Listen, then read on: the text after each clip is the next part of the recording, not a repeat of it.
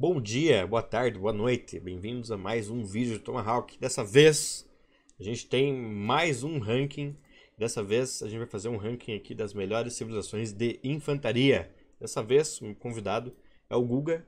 O Guga que uns tempos atrás e lamentavelmente parou de fazer, mas era um youtuber de Age of Empires. Ele parou no elo mil e... Qual foi o elo mais alto? Você chegou a 1500 e... Alguma coisa, Guga? Eu fiquei com. Eu fiquei em 1597, ó, se eu não me engano. Hum, Quase. vamos arredondar para para 1.600, se é que podemos. Se aposentou um pouco do Age, tá de sei. folga, né? Mas volta e meia aparece aí. Guga, se apresente, é, dê um olá pra galera, na verdade, e vamos começar a nossa, a nossa tier list.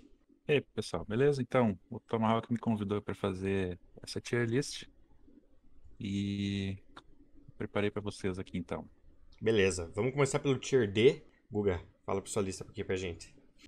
Então, no tier D eu coloquei as civilizações que eh, não são focadas em infantaria e tem alguma parte da árvore tecnológica faltando, algum upgrade para Champion, para Halberdier, ou então algum upgrade de defesa ou de ataque na- no ferreiro. tá? Então, eh, a primeira delas que eu coloquei no tier D é os bizantinos, Beleza, sei que tem Unos. Hunos, exatamente, indianos, Uhum. Khmer, coreanos, lituanos, Coreanos, lituanos. Ok. Magyars, persa, tártaro, turco, vietnamita, berber, mongóis e sarracenos. E Só Sarraceno. é, acrescentando que isso não significa que não, não se pode usar infantaria nessas civilizações, tá? Por exemplo, é, o Magyar é uma, uma civil muito forte para te fazer um, um flush de Man at Arms, né? É o Drush Tem um- também, mais né? um. Ele- é, Exatamente. Quando vira o Man at Arms já tem mais um. Exatamente. Então, não, não quer dizer que assim, ah, é, essa Civ aqui tá no tier D, eu não, não vou fazer nada com ela de infantaria. Não, pode, né, algumas estratégias dá pra fazer. Se Mas ela não é defender, uma às vezes, todas elas têm o lanceiro, né? Na Feudal, por exemplo. Você pode usar, pra, tipo, tampar buraco Sim. mesmo, né? É, elas são umas, é, é, civilizações assim que tu não, o teu principal exército não vai ser infantaria, entendeu? É. Sim. Beleza, vamos passar então pro Tier C agora. Eu sei que você colocou aqui algumas civilizações que dá pra jogar. Acho que são, são viáveis de infantaria, mas elas não focam muito nisso, né? Fala pra gente. É, na verdade, assim, essas civilizações que eu coloquei no, no Tier C, elas são civiliza- civilizações cujo foco não é na infantaria, tá? Mas a árvore tecnológica da infantaria é completa, certo? Então, dependendo do caso, até pode, pode ser que usa, né? É, Claro.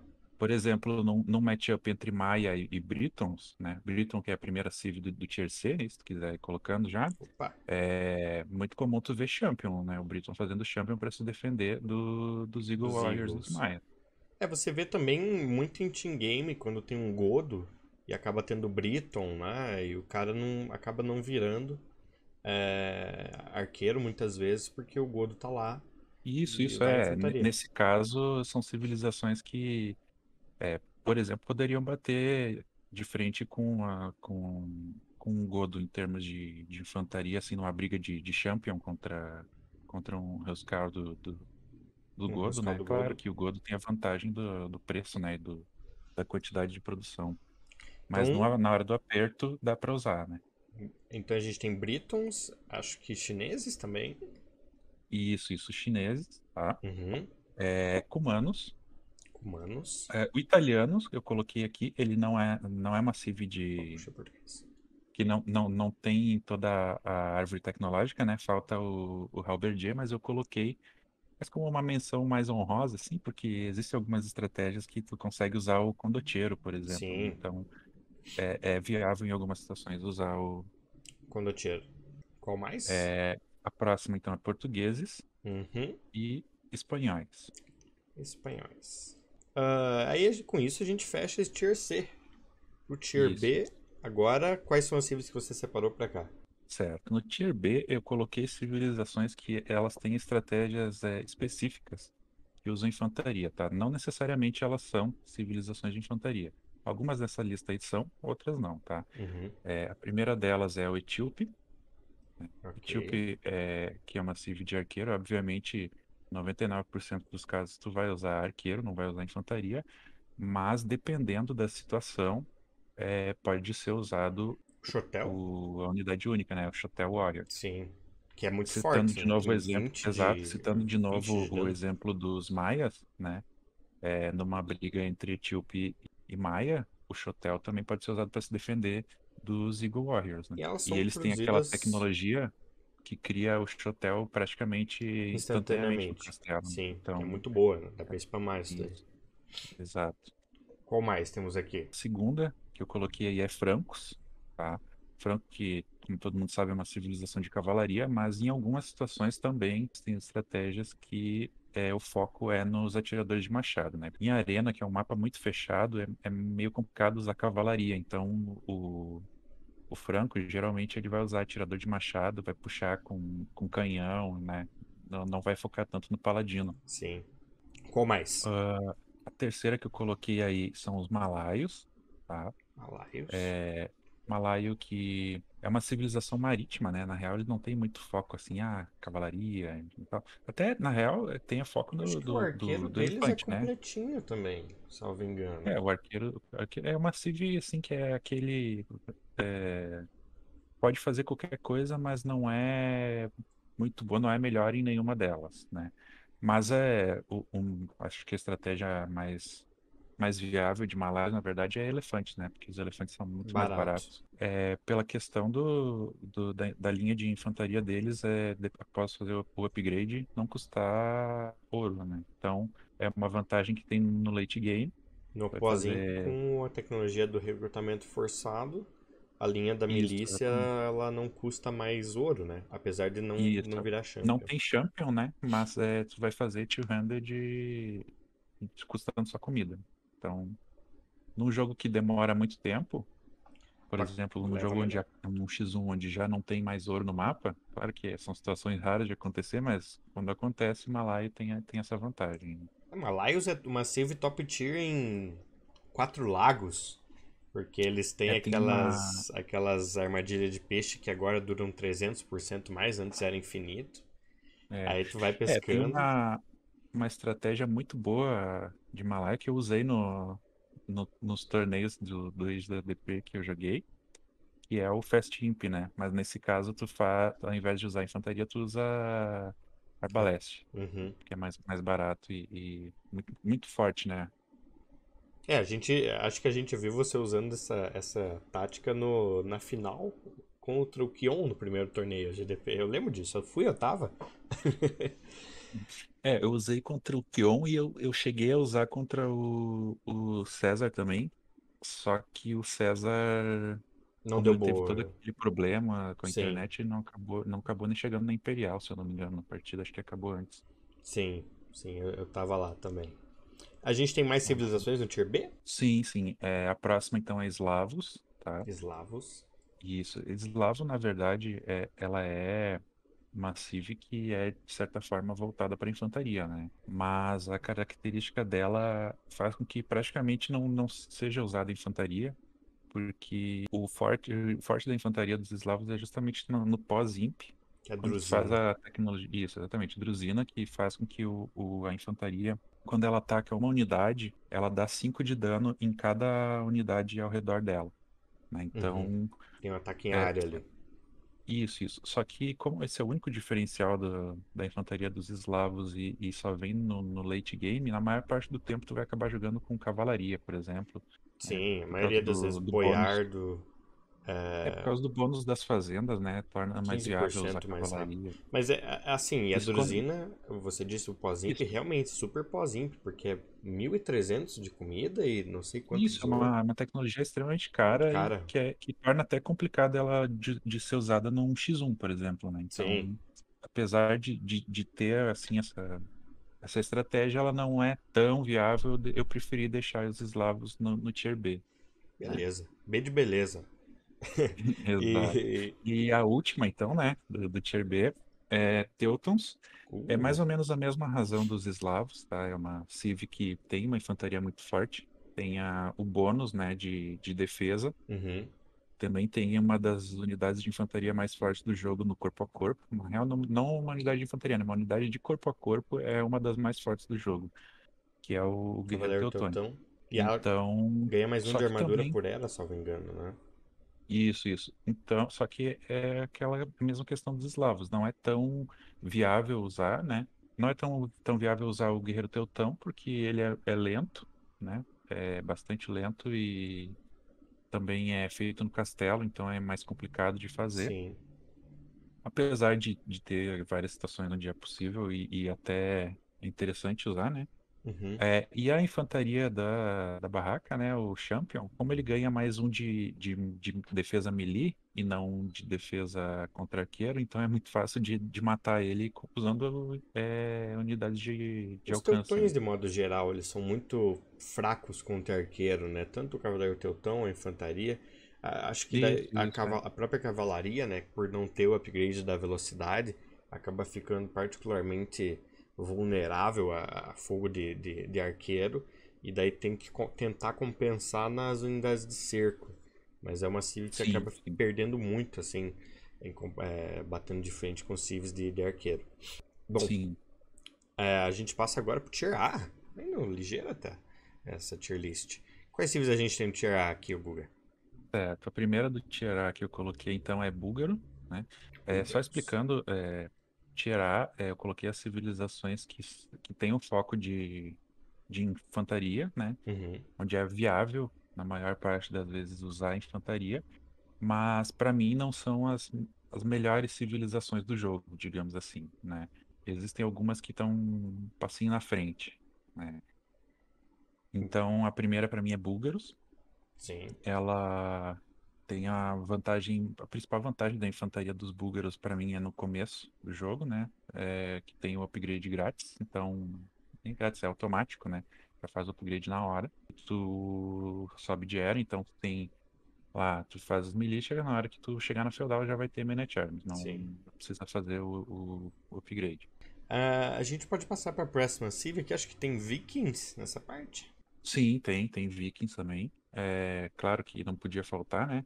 É, Viking é uma, uma civilização que é uma das melhores do jogo, com toda certeza, tem uma das melhores economias. É, e tem a infantaria com mais vida, né? A, a infantaria do, do Viking, ela Quanto tem cento? bônus de HP. É, se eu não me engano, depende da, da era, tá? Hum. Não, ele tem 10% de vida a mais na Feudal, 15% na Castle e 20% na Imperial. Bastante. Torna, é, torna bastante forte. E, e também tem é, ataque bônus contra a cavalaria. Com o Berserker E também, e também tem isso, exatamente, o Berserker Gang, que faz com que o, a unidade única dos Vikings, o Berserk, recupere é, vida mais rápido, né? É, ele recupera a vida É. sozinho, né? Você deixa ele, tira ele de batalha, ele recupera a vida. É muito bom, inclusive. Sim, sim, só que com o Berserker ele recupera mais rápido, né, a vida. Ah, pode crer. É. sabia, as infantarias recuperam vida também? Não, não, é só, só o Ah, tá. Berserk. Tá? Ele- de- o Viking, talvez ele pudesse até ser uma, uma civilização do Tier S, tá? É, mas eu, eu achei que talvez ele devesse ficar no A, porque geralmente não se usa infantaria Viking, né? Quando a gente vê alguém jogando de Viking, é mais é, se usa arqueiro, né? É, o, a Então, infantaria viking que eu vejo mais é o cara começa com arqueiro e late game ele transiciona. Particularmente Isso, em TG. Transiciona pra Berserker, inclusive. Isso, mas é super late game, né? Então eu, eu preferi deixar ele no tier A. Mas se for pensar na, na, na qualidade da civilização como um todo, com certeza poderia estar no, no tier S. Fica na meiuca aqui. Próxima civ, Isso, acho que a isso. gente tem o Celtas. Isso, o Celta, então, que há uns meses atrás ficou bastante famosa, né? Era bastante usada, todo mundo queria fazer o Huang Rush. É uma civilização que também é focada em infantaria, infantaria e siege, né? Em arma de cerco. É, a infantaria do Celta ela é mais rápida. A partir, Então- da, a partir da Feudal agora. Antes, Isso, isso, antes isso. era a partir da Feudal. Dark, e daí ele foi nerfado. Sim, sim. É, ela é mais rápida, então ela é ótima por exemplo, quando você vai fazer um, um, Um flush. um flush de Man at Arm, tu vai conseguir dar hit mais vezes nos aldeões, né? Então a chance de tu matar um aldeão é, é melhor, é maior. Também tem o guerreiro celta, né? O World Raider. World Raider. É uma unidade super rápida. Eu já É fiz, eu já basicamente fiz um alguns champion, só que muito rápido. Isso, eu já fiz alguns testes, eu, eu posso estar falando uma bobagem aqui, tá? Mas se eu não me engano, o, o Old Raider ele é mais rápido que o Paladino. Bom, Paladino Teutão certamente é. Se eu não me, se eu não me engano, o Guerreiro Celta ele é mais rápido que o Paladino. É uma unidade muito rápida. Então isso torna, torna ele muito, muito bom para raidar a base adversária. Consegue matar muitos aldeões. Mas não é uma unidade que a gente vê muito frequentemente, né? Então é, não, não seria o foco. Geralmente o que, que a gente mais vê com Celta é, é Pike e Pike Siege, Siege. né? Clássico, clássico da Então- arena, inclusive. É, exatamente. Mas ainda assim é uma, uma Civ que tem uma, uma qualidade um pouco maior assim na infantaria. Então eu resolvi colocar ela no Tier A.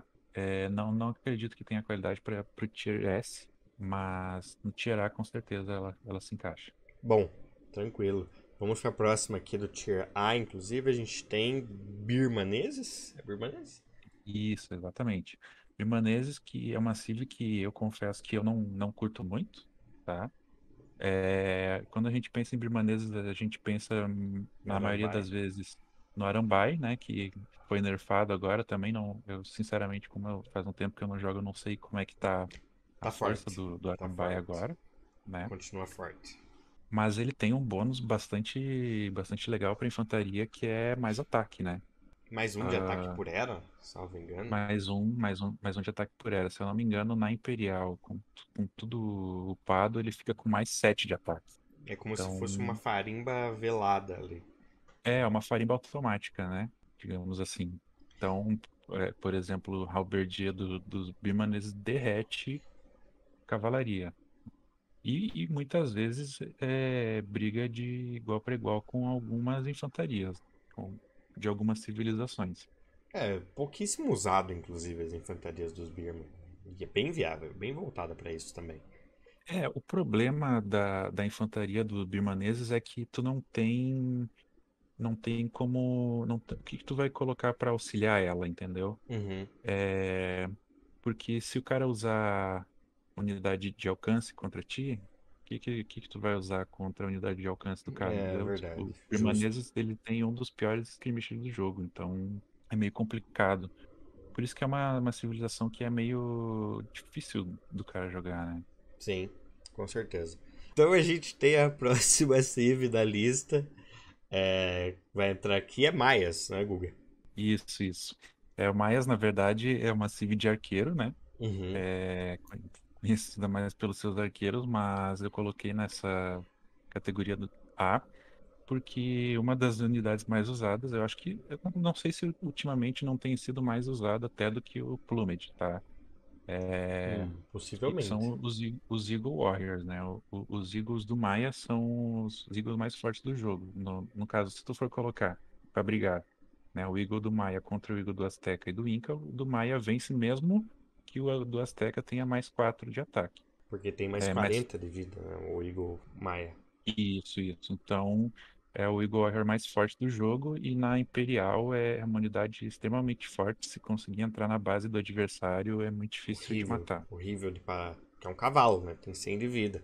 Com a tecnologia do. Ele fica Eldorado. embaixo do Town Center e matando aldeão e não, não morre. Bom, continuando aqui, é, agora a gente passa para outra mesoamericana, que são os Incas. Você falou neles?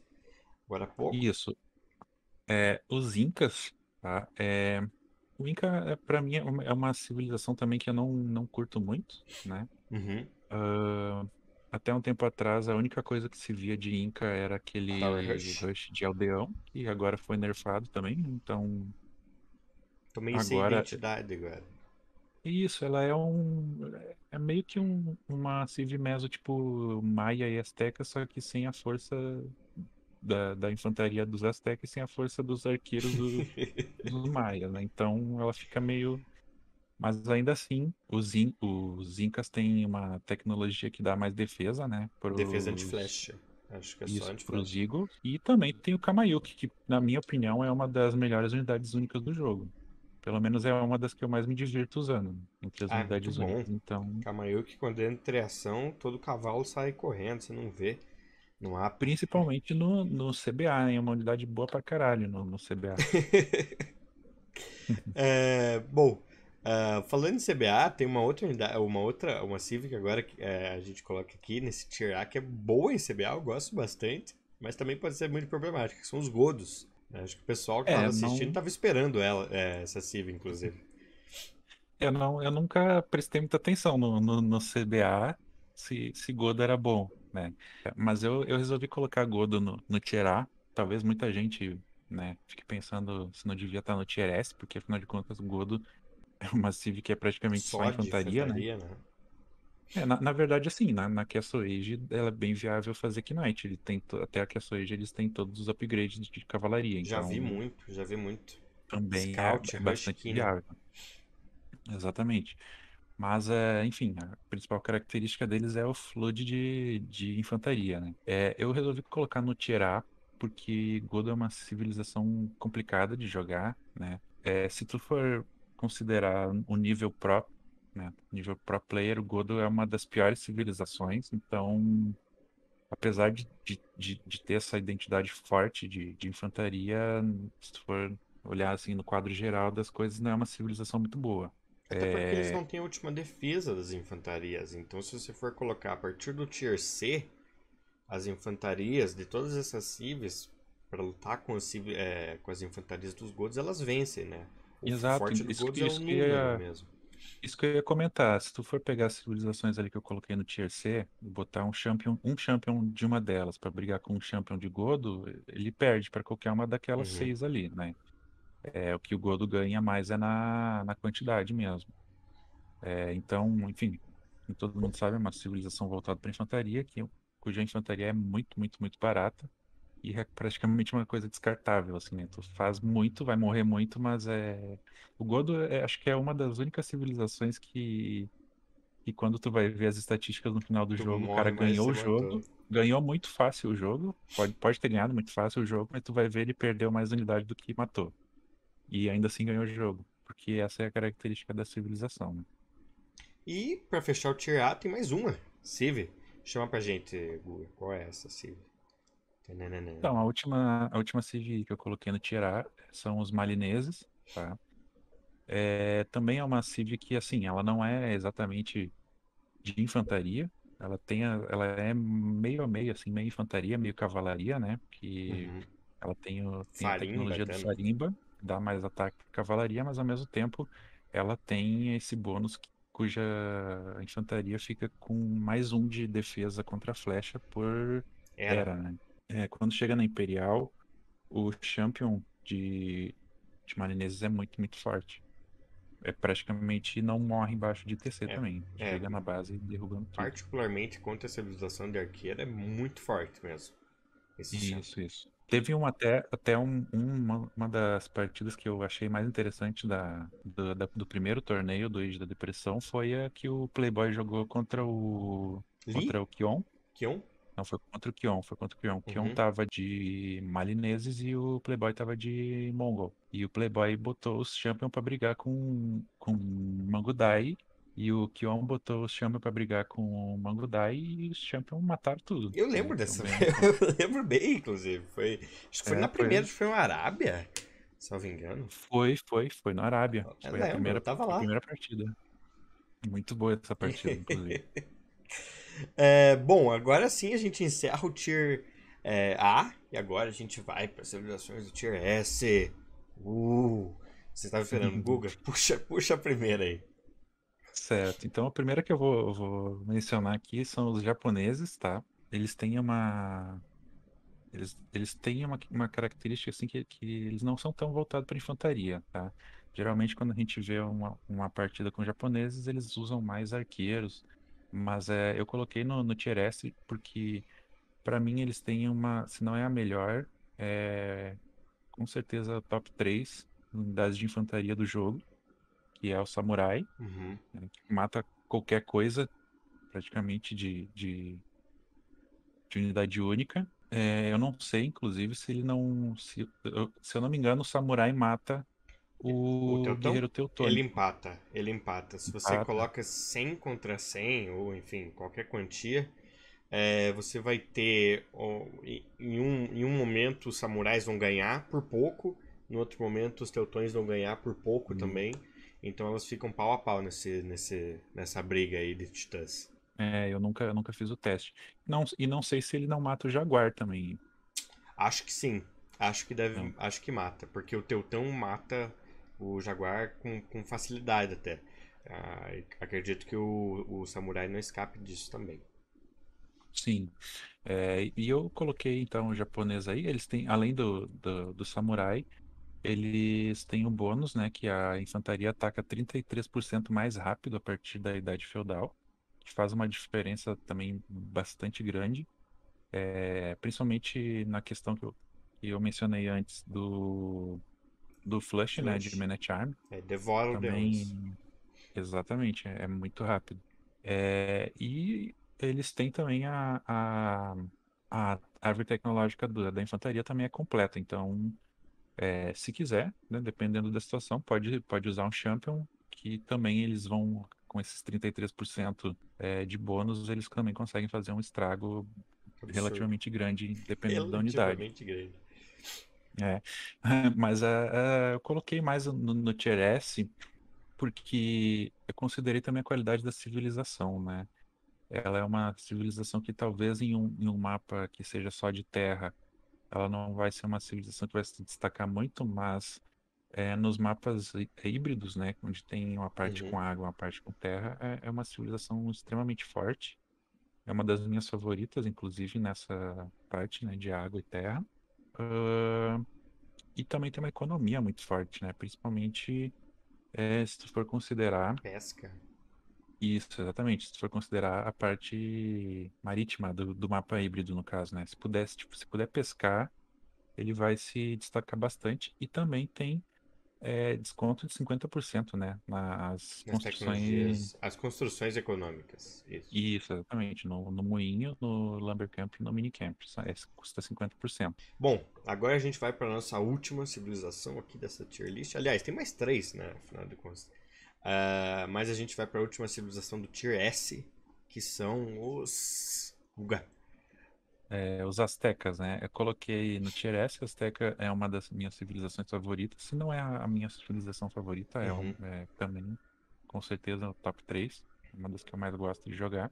É, enfim, não, não- não- nem precisa explicar muito, né? O, o motivo de colocar a Azteca no Tier S. Ele tem uma economia muito boa. E a infantaria dos Aztecas só, só tem mais 4 de ataque, né? Sim, Juntando, jun- é, com a tecnologia essa única e todos os ups. Tecnologia Então- única que é o.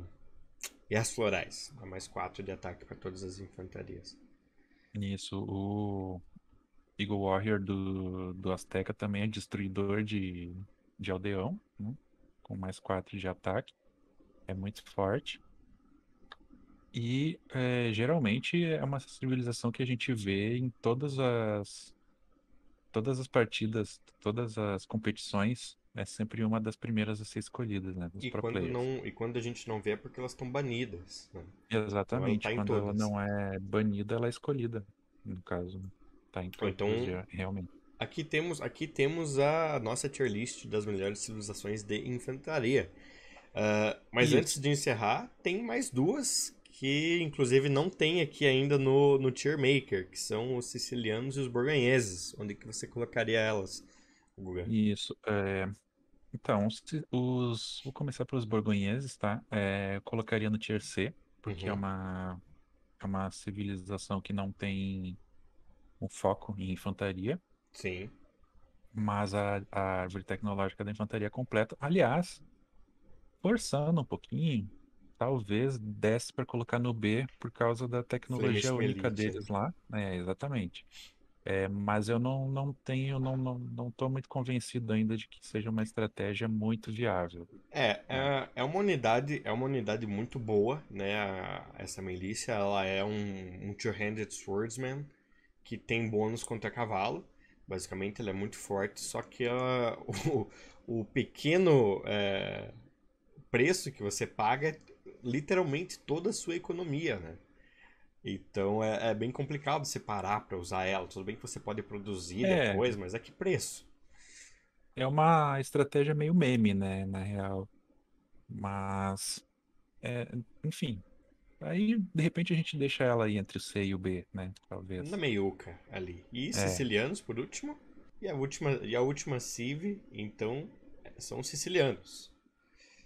Isso, os sicilianos, então, é, que eu, eu colocaria os sicilianos, é, por ser uma civilização voltada para a infantaria, tá?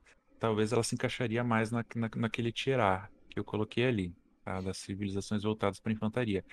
Mas, ao mesmo tempo, eu não acho que seja uma civilização muito, muito eficiente naquilo que se propõe, entende? Porque, apesar de ser uma civilização de infantaria, ela não tem nenhum bônus voltado para a infantaria, né? Tem apenas uma unidade única, que é de infantaria, e que, é, se tu for parar para pensar que é uma unidade única que, que pode ser construída basicamente numa torre, é, é uma vantagem muito forte, né? na questão da produção, que geralmente é o problema que se tem com as unidades únicas. Mas ao mesmo tempo ela não é muito forte. Ela tem 11 de ataque. Ela tem uma, ela é forte, na verdade, contra arqueiros, né? Arqueiro, né? Ela tem É, bastante tem defesa contra arqueiro. ela tem uma, uma, uma defesa legal contra a infantaria também. Mas é, provavelmente no que, aquilo que ela vai enfren- acabar enfrentando, que geralmente não é outra infantaria, né? É uma cavalaria, por exemplo, a cavalaria vai acabar se sobressaindo no ataque, então e, e na quantidade de vida, então geral, provavelmente, né, vai, vai perder para a É, cavalaria. o cavalo leva fácil, com certa Isso. facilidade.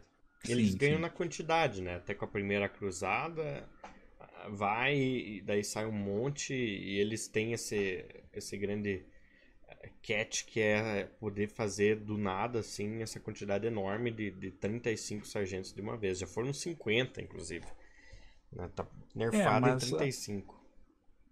mas aí é, é, tipo, vai ter que ter cinco town centers, né? Uhum. E não é uma, uma coisa que tu vai ter muito cedo no jogo, assim, cinco town centers. Sim, mais Então eu um não sei castelo. até. 5 town centers e um castelo. Exato, então é uma coisa que provavelmente tu não vai fazer na Castle Age, tu vai ter, vai fazer isso aí se tu for fazer na Imperial O finalzinho da Castle já vi e já. É, bom, na verdade sim, é uma forma mais barata de fazer 35 sargentos, mas não, não vejo como algo que vai te ganhar o jogo, assim, na, na minha opinião, porque tu vai fazer ela num momento em que tu já vai ter muitas, tu e teu adversário já vão ter muitas construções militares, que vai poder fazer várias é, unidades, 4, 5, 6 estábulos, 4, 5, 6 barracas, então nessa questão eu não, não vejo assim como, nossa, vou fazer 35 sargentos agora e vou atropelar o meu adversário. Não sei se isso acontece na, na, na Na vida vida. real, assim. Mas é, então, é, por ser uma civilização de, de infantaria, para mim ela ficaria ali pelo tier A, mas pela pouca, na minha opinião, né, na- pela pouca qualidade da civilização, eu rebaixaria para B. Então, se a gente colocou borgonheses ali entre o C e o B, talvez a gente pudesse colocar os sicilianos entre o A e o B, Hum, né, assim. Justo. Bom, e com isso a gente então encerra a nossa tier list. Aqui está para vocês que estavam esperando a nossa tier list de melhores civilizações de infantaria.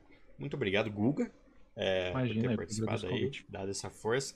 Inclusive, eu vou colocar o link do canal do Guga aqui na, na descrição para vocês se inscreverem. Tudo bem que ele não posta nada, tem o quê? Nove meses já. Mas, É, né, mas tem, tem bastante coisa que pode, que o pessoal pode achar interessante lá. E, né, nunca se sabe se um dia vai que um tiver com dia. vontade, a gente bota uns vídeos novos. Muito obrigado a todos vocês que assistiram. Espero que esse, esse- essa discussão que eu tive aqui ajude você a se tornar um jogador melhor no Age of Empires 2. E até a próxima. Tchau, pessoal. Tchau.